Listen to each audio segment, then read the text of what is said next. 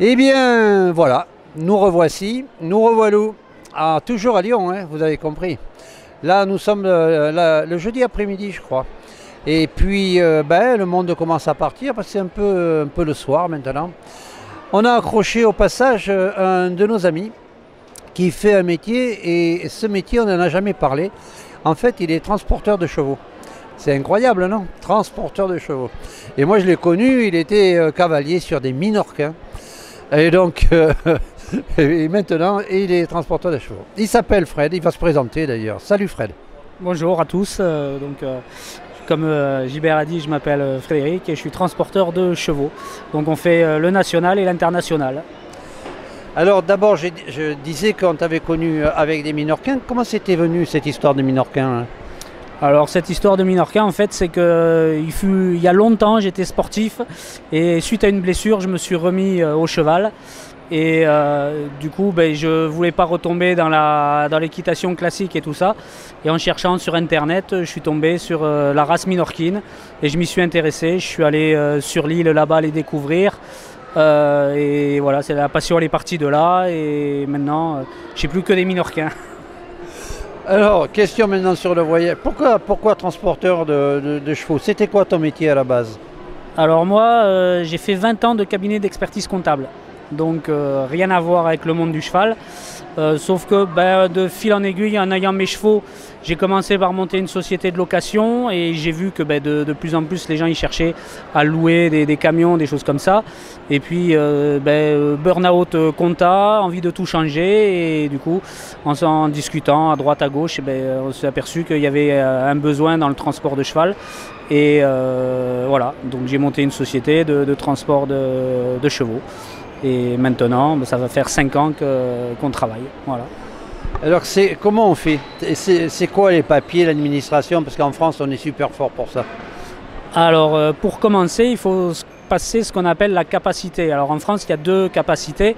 Il y a la capacité au transport léger, donc jusqu'à 3 tonnes 5, donc qui donne la licence, ce qu'on appelle la licence intérieure, ça c'est une licence qui est euh, propre à la France. Il faut savoir qu'il euh, n'y a qu'en France où elle existe, et en Europe on passe directement la, licence euh, communautaire.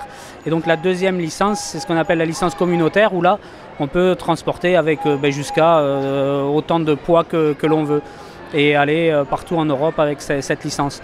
Donc, euh, mais pour, pour avoir cette licence, en fait, il faut passer les, capacités. Donc la capacité légère ou la capacité lourde. Voilà, c'est la capacité lourde, c'est un examen qui est un peu compliqué. Il y a un examen par an et euh, il y a 30% de, taux de, réussite seulement, donc euh, c'est un peu compliqué. Ça, c'est la première étape. Ensuite, ben, quand on veut faire euh, du cheval, il faut passer ce qu'on appelle le captave. Enfin, anciennement le captave, maintenant je ne sais plus euh, comment ça s'appelle. Tu peux euh, le, CC quelque chose. Enfin, là je ne sais plus trop.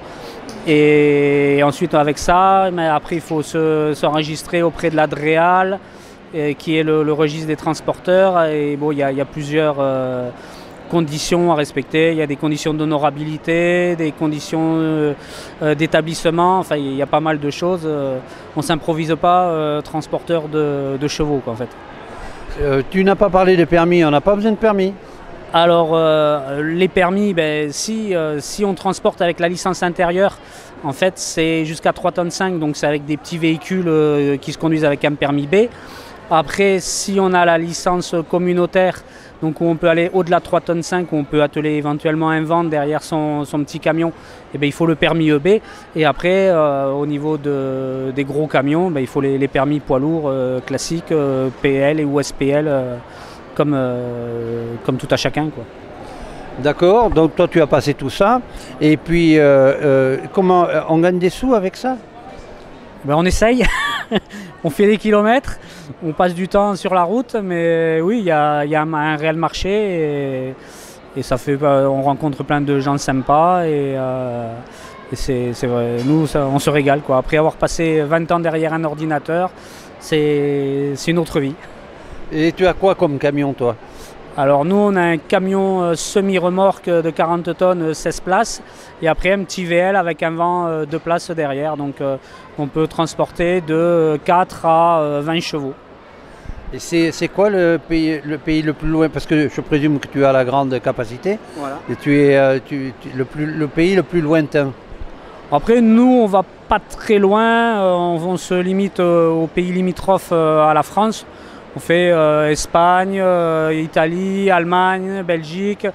Avant le Brexit, on allait en Angleterre. Maintenant, c'est devenu un peu plus compliqué, donc on évite. Mais euh, tous les pays limitrophes, après, on évite aussi les pays exotiques où c'est un peu compliqué à aller. Il y, a, des gens qui sont plus qualifiés que nous pour aller plus loin. Et, et voilà, on a déjà suffisamment de travail avec les pays limitrophes. Bien, très très bien. On te trouve où? Alors euh, sur internet euh, avec notre site www.equidezen.fr et euh, sinon ben, c'est tout déjà. Je vois pas où, où autre. Mais en fait on est, on est basé sur, en région toulousaine voilà. Voilà. Alors, redis Equidezen parce que j'ai eu même du mal à l'écrire. Alors Equidezen c'est E E-Q-U-I-D-Z-E-N voilà. C'était zen comme, comme être zen, comme tu es zen d'ailleurs. Voilà c'est ça, tout à fait. Bien, eh bien, on, va remercier Fred, merci mon, mon gars. Et puis, euh, si vous avez besoin de transporter des chevaux, ben, vous irez sur son site euh, internet. Je mettrai l'adresse et le téléphone de toute façon sur le bout de film que vous allez voir. Et puis, euh, ben, je vous remercie d'être attentif à ce que l'on fait. Et je vous dis ben, à plus tard, ou à demain, ou après-demain, peu importe. Venez à Lyon, venez à Lyon, c'est bien Lyon. Bye bye